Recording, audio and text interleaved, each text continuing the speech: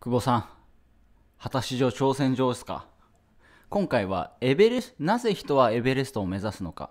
なぜ人はエレベエレベストを目指すのかっていう。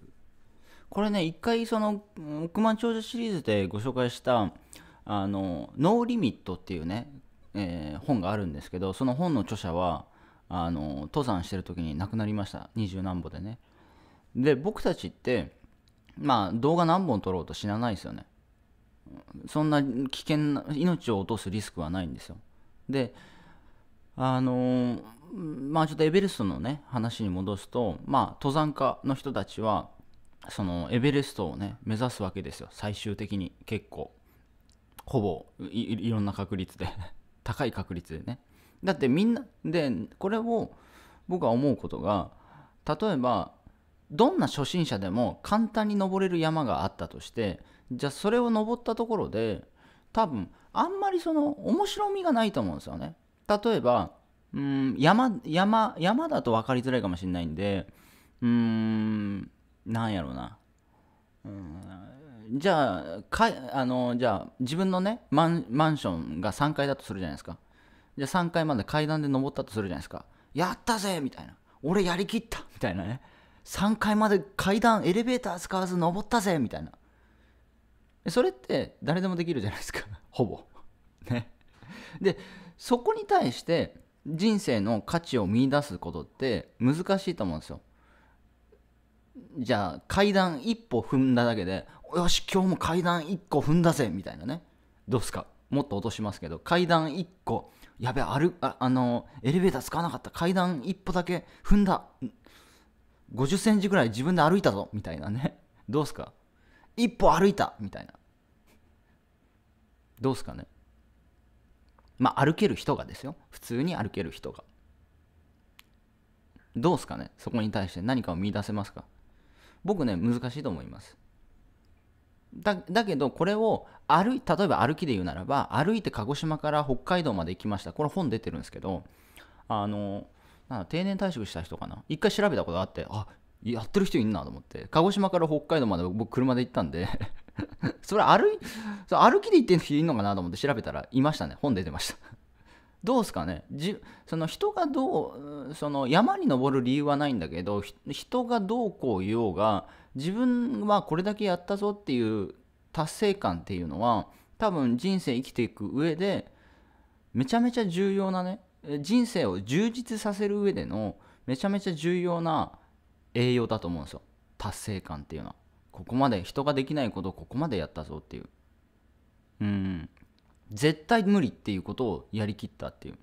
だからそのプロジェクト X とか見てて思ったことがやっぱその仕事をみんな楽しくやってるんですよ。でなんでそれは楽しいのかっていうとやっぱり前人未到のことを成し遂げていくわけですよ。みんな本当にねあのブラック企業ですよ。全部が。ね。もう会社に泊まり込みしてあのもしくは会社の近くに引っ越した社員の方もいたりとかね。でそこまでやって今までできなかったものを作り込んで、え成し遂げてってやったぞみたいな。だから「日はまた昇る」っていう映画 VHS を作った映画もそうなんですけどやっぱね最後作り終えた時に泣けるんですよね。もうこう作ったぞみたいなね。ソニーに勝ったみたいな。あのあの巨頭に勝ったぜみたいな。でこれってなんかあの日はまたの日はまた昇るの映画の最後の VHS っていうねあの社員の人がねありがとうございましたっていうまあ西田さんだったかな主役。西田さんが上から見てるんですけどもう感動してね奥様も泣いてるわけですよ。世に残したなみたいな。でそれって多分お金でじゃ絶対買えないものだと思うんですよね。じゃあエベレストに登ったから1兆円もらえるのかっていうの多分ないですよね。ないんですよ。命張ってまでじゃあお金もらえるのかっていうともらえないんだけどお金以上のなんだろうな価値がそこにあるっていう。だそれはでも登りきった人だったりとかやりきった人しかその、うん、体験価値っていうのは得られないと僕は思ってるんで。でも人生をよりをより満たしていくためにはそれが僕は必要だと思います。だから困難にも挑戦する、うん、人ができないであろうことを成し遂げていく。それが生きていく上でのめちゃめちゃ本当になんか大事なことがあるとするならば、うん、要素なんじゃないかなと思いますね。満たしていくっていう。うん。要は自己を満たしていくってことですね。自分の人生を満たしていく、うん、これはもうエベレスなぜ人はエベレストを目指すのかっていうなんかそのお金でもなければ他人がね命危ないからやめとけよとかそういう問題ではなくて自分の人生の中で、えー、その歴史を刻めたっていうとこにすごく付加価値があるんじゃないかなと。でもそれは人に理解されないんですよあんまり。うん。